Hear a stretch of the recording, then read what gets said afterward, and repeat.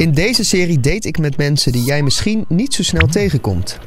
Laat in de comments weten wie jij hier wilt zien zitten. Deze week date ik met Jacqueline.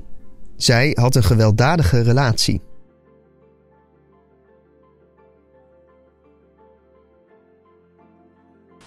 Single zijn of in een relatie? In een relatie. Wel of geen therapie? Wel. Weglopen of de confrontatie aangaan? Weglopen. Wel of geen aangifte doen? Wel aangifte doen. Alle herinneringen over je ex wissen of onthouden? Wissen. Hoe was het begin van de relatie? Uh, ik was 14, ik had zomervakantie en uh, ik ging twee weken logeren bij mijn tante thuis. En op een avond zat hij daar toen wij daar thuis kwamen. Later kwam het er wel eigenlijk op neer dat ik wel een beetje gevoelens voor hem begon te krijgen. Want hoe oud was hij dan? Uh, hij was op dat moment tien jaar ouder dan dat ik was. Hm. Dus ja, daar zat al de eerste probleem, zeg maar. En daar waren we ook ons echt wel van bewust. Op een gegeven moment kwam ik erachter dat hij ook die gevoelens voor mij begon te krijgen. En toen dachten we, nou laten we het maar gewoon proberen en kijk wel waar het strandt. En toen hadden we het uh, ja, even een tijdje geprobeerd. En ja, na twee maanden ongeveer ja, sloeg het helemaal om. In die eerste periode waren er toen al een soort van red flags, dus in die eerste twee maanden? Nou, hij wou heel veel bij mij zijn. En uh, ja, echt overal waar ik heen ging, zat hij al berichten te sturen van... hé, hey, wanneer ben je terug? En uh, achteraf gezien was dat al het eerste red flag eigenlijk. Hmm. Ja. ja, maar ik snap ook wel dat je daarvan kan denken van... oh, hij is gewoon lekker gek op me. Hè? We zitten in ja. die verliefde fase. Ja, ja, ik zat op dat moment echt midden in mijn puberteit. Dus dan denk je dat inderdaad ook van... oh, hij vindt me helemaal geweldig. Ja. Ja, achteraf gezien was dat echt helemaal niet zo. En hoe begon dan een beetje zijn gedrag te veranderen? Ik had inderdaad met een vriendinnetje afgesproken bij hem thuis. En hij kwam thuis en daar was het echt totaal niet daarmee eens dat ik een vriendinnetje had meegenomen naar zijn huis toe. En ja, toen flipte hij hem echt compleet de panden uit. Begon te schreeuwen, ging met dingen gooien. Waar zij bij was? Ja, waar zij bij was inderdaad. En toen vroeg zij ook van, gaat alles wel goed met hem? En, uh, ja. ja. en ik wist eigenlijk ook niet wat er gebeurde, want ik kende hem helemaal niet zo. Uh, ja, ik dacht echt, waar ben ik aan begonnen? Toen wist ik echt al, dit is foute boel ja, op een gegeven moment zei hij van ja, jij gaat gewoon niet meer naar school, jij gaat gewoon doen wat ik wil. En uh, ja, daar was ik het eerst natuurlijk helemaal niet mee eens. Toen zat al het stukje manipulatie erin van als jij naar school gaat, dan kom ik je letterlijk daar ophalen of ja, dan flip ik hem daar wel de pan uit waar iedereen letterlijk bij is. Wat, wat, en dan ging je dus niet naar school en dan zat je Nee. gewoon bij hem? Uh, ja, ik werd eigenlijk letterlijk gewoon in zijn huis opgesloten door hem. Ja, zodat ik ook niet weg kon. En telefoon had ik niet, want die had hij afgepakt. Dus dat mocht ik ook allemaal niet eens. Maar dat zijn zulke heftige dingen allemaal al. Ja, Zo snel. ja. En dat op 15-jarige leeftijd, dat is echt heel heftig. Om wat voor dingen werd hij agressief? Alles. Mijn dat is veel, alles. Ja, maar ook echt letterlijk alles. Mijn aanwezigheid, hoe ik ademde, hoe ik naar hem Jeetje, keek. Mina, ja, Ja. halleluja. Ja, hoe langer ik bij hem eigenlijk in de buurt was, hoe boos hij ook soms werd. Ja, 9 van de 10 keer schende ik er geen aandacht aan en deed ik gewoon wat ik wou doen, ook in zijn huis. Ja, op een gegeven moment was het bij hem te veel en dan begon het met schreeuwen en eh, dingen gooien en op een gegeven moment ook echt slaan en, eh, en schoppen tot bloedens aan toe. Nou, hij pakte me dan eh, of bijvoorbeeld vast of ja, ik kreeg dan een platte hand tegen mijn gezicht en op een gegeven moment werd dat ook gewoon letterlijk een vuist. En als ik op de grond lag of gewoon op de bank lag, kreeg ik in één keer gewoon uit het niets een schop tegen me aan. Ik kon eigenlijk nooit iets terug doen, want die klap of die schop was eigenlijk al zo hard dat ik al ja, in één dook van de pijn. Ja. En ja, dat is voor hem natuurlijk een kans om gewoon door te blijven gaan.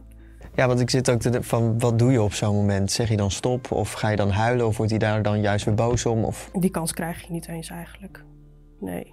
En was je dan ook niet iedere keer bang als dan weer zo'n gevecht begon dat je dacht, nou, Ja, dit, zou dit zou wel eens mijn laatste kunnen zijn? Ja. Of hoe, eh, elke keer, elke dag. Want dit ging echt elke dag, 24-7 ging dit door. En hoe vaak kwam er dan zo'n gevecht op de dag dat hij jou eh, helemaal... eh, op, een, op één dag, het minste, denk drie. En ja, op zijn meest de hele dag door eigenlijk. Ja. Ja, en dat anderhalf jaar lang. Waarom ging je niet bij hem weg? Pure manipulatie. Ja, want, ja, dat snap ik eh, ook. Ja, deze vraag krijg ik natuurlijk ook echt heel veel. Is het, eh, is het een stomme vraag? Of een domme vraag of zo? Of van, Nee, dat vind ik eigenlijk helemaal niet. Nee, want dat is natuurlijk het eerste wat mensen gaan denken als je zoiets heftigs hebt meegemaakt. En ja, als je het ook niet hebt meegemaakt, dan is het ook heel makkelijk om te zeggen van... Ga gewoon weg bij hem. Het is toch heel makkelijk. Je loopt de deur uit en je bent weg. Maar dat is dus helemaal niet zo. Want mijn ouders die waren echt letterlijk net verhuisd. Ik wist zelf nog ineens dat ze het huis überhaupt hadden. En toen kreeg ik op een gegeven moment een foto binnen van ja, het huis van mijn ouders. Van ja, we weten waar je ouders wonen, we weten waar iedereen uh, zit, we weten wie iedereen is. Hoezo we? Nou, ik kreeg het niet eens via hem. Ik kreeg het via een vriend of een vriendin. Ik weet het niet meer precies. Kreeg ik het binnen. En uh, ja, daar stond ook elke keer het woord we in. Dus ik wist ook dat er meerdere personen waren. Wie het zijn, geen idee. Nee. Oh, wat is dat voor een grimmig verhaal? Mijn familie wordt letterlijk in de gaten gehouden. En toen heb ik ook mijn moeder opgebeld van... hey, klopt het wel dat dit huis van jullie is? En toen zei ze, ja, we hebben letterlijk net vanmiddag de sleutel opgehaald. Dus ik wist zelf nog ineens dat ze er woonde. En toen wist ik van ja, ik kan nu niet zomaar weg. Want het is of weggaan en mijn familie gaat eraan. Of ik blijf en ik krijg de kloppen. Wat was het omslagpunt waarop je besloot dat het zo niet langer door kon gaan? Nou, ik was aan het bellen met een vriendin. En hij kwam binnen en ik wou heel snel ophangen. Maar op de een of andere manier lukte dat niet. En uh, ja, mijn vriendin die stond op luidspreker. En uh, ja, hij begon direct uh, ja, te schreeuwen van met wie ben je aan het bellen. En je weet dat dat niet mag. En toen heeft hij ook echt letterlijk mijn telefoon gepakt en kapot gegooid tegen de muur. En hij had ook een kast in de woonkamer staan. En daar stond ja, een best wel antieke mes op. Een ja, best wel groot ding. Ik denk dat hij echt wel zo groot was. En uh, ja, die had hij toen gepakt. En toen wou hij dus mij proberen neer te steken. Maar ja... Hoezo? Want hij kwam op je af of hij zat al te steken? Of? Uh, nou, hij zat er eerst gewoon mee te zwaaien van ja, ik ga je neersteken. En dit keer is het echt klaar. En heb je nog laatste woorden? Dat is echt ook letterlijk wat hij heeft uitgesproken. En toen heb ik echt letterlijk gewoon dat mes vastgepakt en gewoon... Zo met een scherpe kant? Ja, echt met blote handen heb ik hem letterlijk gepakt en uit zijn handen getrokken. En daar heb ik uiteindelijk ook een litteken aan overgehouden op mijn vinger. Nou, toen heb ik hem nou, een best wel harde deal gegeven. En uh, op dat moment, hij was, kwam ook net thuis, dus de deur zat op dat moment niet op slot. Dat wist ik ook, want normaal hoor je dat, dat hij hem op slot doet. Ik ben zo de deur uitgerend. Uh, eerst naar de buren toe, in de hoop dat hun mij hulp konden geven. Alleen hun waren er niet, dus toen ben ik echt schreeuwend de stad ingerend van help me alsjeblieft is nu ook niet gebeurd. Iedereen kijkt je echt aan van, sta je in de fik of zo? En er was niemand die echt letterlijk naar me toe kwam van, hé, hey, ik help je wel. Ja, en toen heb ik later echt zelf gewoon de politie gebeld. En ja, die zeiden ook van, oh, het zal vast wel een klein dingetje zijn. Dus die hielpen me ook gewoon echt letterlijk. Echt? Ja. En toen wist ik, ja, nu moet ik het echt zelf doen. Het is nu of nooit.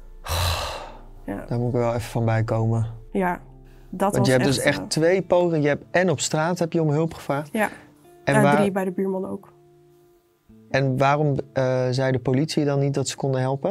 Uh, nou, hun hebben gewoon letterlijk over de telefoon gezegd... we krijgen dit soort telefoontjes vaker. We nemen dit niet heel serieus, want het zal vast wel een klein ding zijn. Wow, en toen hebben ze ook gewoon letterlijk shit. opgehangen. Ja, toen dacht ik van ja, of ik ga naar hem terug... en het is echt letterlijk het einde... of ik ga nu echt mezelf zien te redden... en ik ga doen wat ik kan doen. En toen ben ik uiteindelijk ook zelf naar het uh, ziekenhuis toe gerend. En toen ben ik daar naar binnen gegaan van jullie moeten me nu echt helpen. En ja, hun zagen natuurlijk ook wat ik onder de blauwe plekken zat. En, en ja, best wel bebloede hand had. En toen ben ik in het ziekenhuis opgenomen, per direct.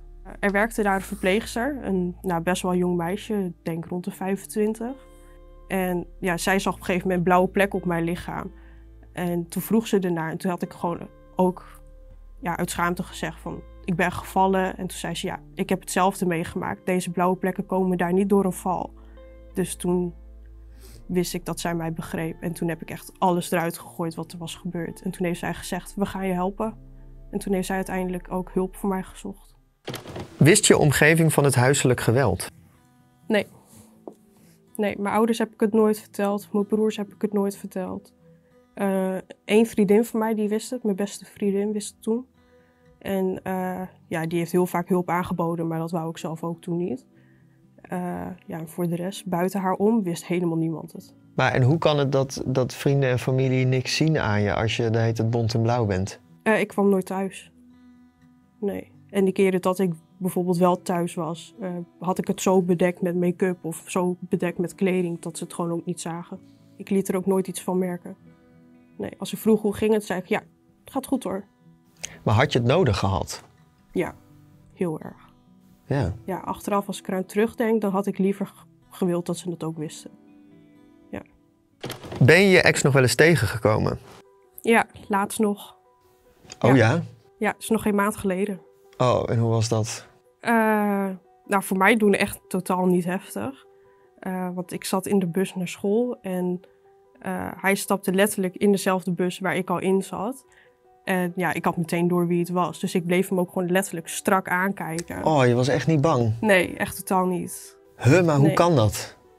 Ik denk ook echt dat stukje van controle hebben over de situatie. In het begin had hij het niet eens door dat ik er ook was. En eh, ja, toen stapten er een paar mensen uit. En toen had hij pas door dat ik ja, naar hem keek, zeg maar. En hoe voelde dat om dat oogcontact met hem te hebben? Eh, op dat moment dacht ik echt van, ik ben wel echt super benieuwd hoe jij hier nu op gaat reageren. Dat ik hier sta en dat je mij na vier jaar weer ziet. En eh, ja, hij zag mij en je zag echt heel duidelijk dat hij echt heel erg schrok. En hij begon meteen op alle stopknopjes te drukken om zo snel mogelijk die bus uit te gaan. Oh. Ja, dus hij wist echt totaal niet waar hij het moest zoeken volgens mij. Volgens mij raakte hij zelf in paniek. En toen stapte hij de bus uit en ja, van binnen moest ik lachen. Dus ik begon ook te lachen van, ja, zie je nou wel wie de controle heeft? En in wat heeft dit je veranderd? Eh, het heeft me echt veel sterker gemaakt. Dat niet iemand zomaar weer controle over mij gaat krijgen. Had je dat ooit gedacht? Nee, Ja, chill Nee. toch? Dat zo'n heftig iets ook zo weg Ja. kan zijn. ja, dat, het is ook vier jaar verder, maar... ja, klopt. Maar ja, soms dan denk je wel van, het is net gebeurd, dus ook blijf heel mijn leven lang blijf ik ermee rondlopen. Eh, maar als je het echt goed hebt verwerkt door middel van therapie en echt heel veel over praat met wie dan ook, dan, eh, dan is het heel, heel snel, heel makkelijk. Heb jij nou iemand die je graag zou willen zien? Laat het dan weten in de comments. En ben je benieuwd naar het hele gesprek? Check dan onze podcast. Nou, dat was hem. Nou, heel goed. Neem jij eigenlijk een ijsje altijd op een hoorntje of eh, in een bakkie? In een bakje. Ja? Ja. Vind je een hondje niet lekker?